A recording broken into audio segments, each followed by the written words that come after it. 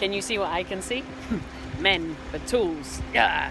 Um, so what this is is this is the chapel here, and um, we're actually a freeholder of the chapel. And I'm sorry about the, the, the noise here.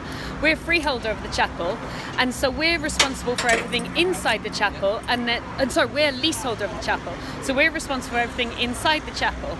Uh, and we're now coming to the point of tender, and there is some water ingress which is causing damage. Which, because we are the leaseholder, not the freeholder, it does mean that the freeholder needs to um, ask this chap to do the survey, as you can see going up, and then it means that um, they do the survey and then they figure out. I'm going to talk to you like this. They figure out uh, what needs to be done in order to make it wind and watertight so that we can then um, put it out to tender. Um, so that's what we're here, and we just had to phone them a number of times to make sure they got here. So if you're a leaseholder, just be persistent, and they'll eventually come out.